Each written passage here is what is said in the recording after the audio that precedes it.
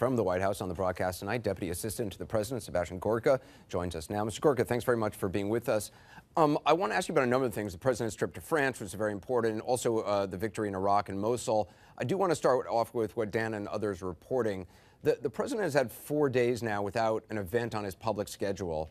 Uh, you've heard the reporting that there's a bunker mode in parts of the White House since the news of Donald Trump Jr. broke. I want you to be able to comment on that. Oh, absolutely. It's laughable. Uh, your chyron talked about a crisis. Your reporter talked about a bunker mentality. I actually work in the West Wing. I work in the White House. It is absolutely nothing of the kind. Uh, we are pushing the Make America Great Again agenda. The president is a steam locomotive that will not be stopped it's just fake news. I, am sad to see CNN fall to this. I know you want salacious, sensational uh, coverage for your ratings, so your corporate sponsors and owners will have, you know, more money. But that's that's not media. That's not reportage. It's just fake news. Okay. I'm just going to ignore the insults because I don't think it really gets us anywhere. Again. It's not about you. It's about actually having journalism back on TV. Okay. Where, are the Walter Cronkites of, of yesteryear? This is just about ratings and money, and it's, it's, it's actually quite sad.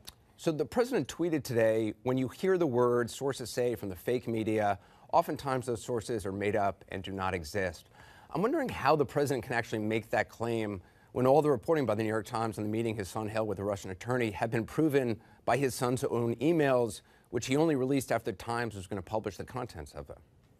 Is that the same way that all the unnamed sources said that uh, Director Comey, including CNN, was going to completely uh, gainsay everything the president said about their meeting 24 hours before his testimony. Right, that was reported. That which, reporting was wrong, CNN, and we corrected ourselves. Uh, unlike the right. White House, which has never corrected itself on anything. But I'm giving you an opportunity right now to correct what the president said this morning, because what he's alleging is that the reporting is fake, and in fact, his son's own email chain shows that it's accurate. Do you deny that? No, I, I, I deny the fact that there's anything here that's untoward. This is again, this okay. is an obsessive so, nine okay, but you do campaign. not deny you do not deny that all the sourcing for the New York Times was correct on the story, and the president is wrong when he's saying the anonymous sourcing is fake news. Oh, I stand by what the president said, and I stand by what his son said. We are incredibly impressed by uh, the fact that he actually published these emails and said he will right, cooperate with anybody. Let's, anybody. Let's, let's be honest here, though. He only published these emails because the New York Times got the emails and was going to publish them, and then he smartly got ahead of it. And the only reason that this story has lasted so long is because he wasn't transparent from the beginning. Even Trey Gowdy today said, and I quote, if you had a contact with Russia, tell the special counsel about it. Don't wait for the New York Times to figure it out. Why not be upfront and transparent on Saturday when he was first approached?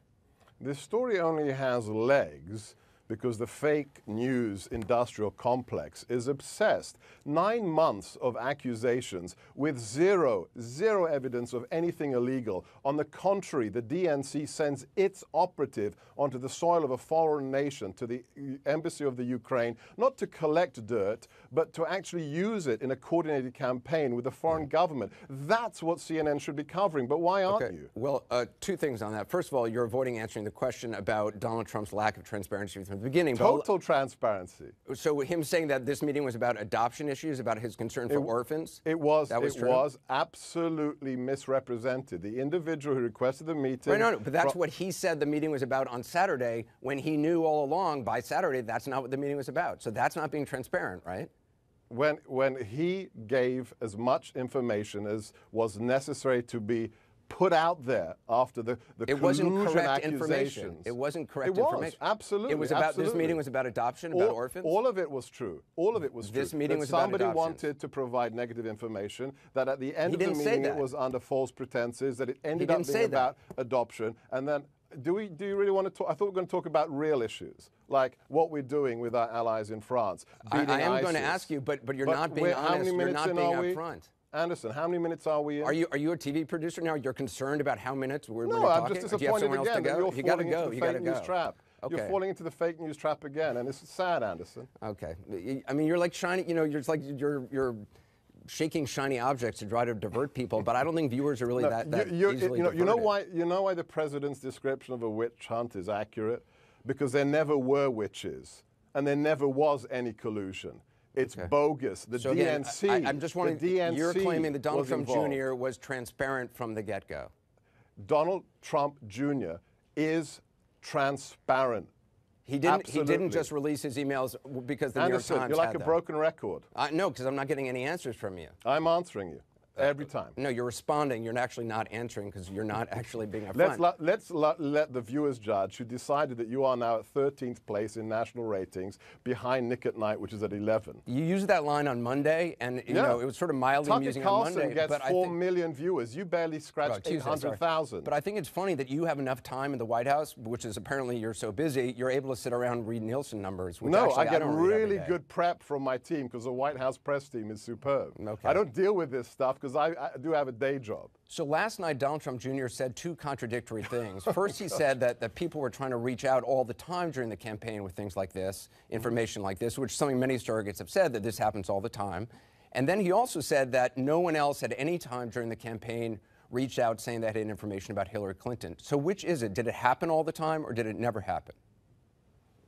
I will return to what the president and Donald Trump Jr. and also Jay Sekulow said that in the heat of the campaign, he took a meeting as a favor to an acquaintance. That meeting was sold to him on false pretenses, and as soon as it was clear that that was the case, it ended. Right, but I, I, but the surrogates are saying it happened all the time. He said it happened all the time, but then he also said last night this is the only time it ever happened. I'm just trying to get a straight answer.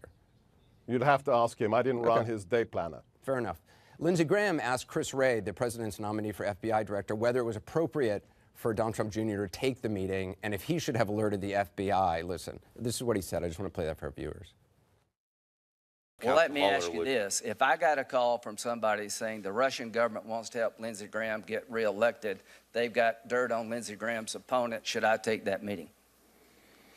Well, Senator, I would think you'd want to consult with some good legal advisors before you did that. So the answer is, should I call the FBI? I think it would be wise to let You're the to be FBI the know. director of the FBI, pal. So here's what I want you to tell every politician.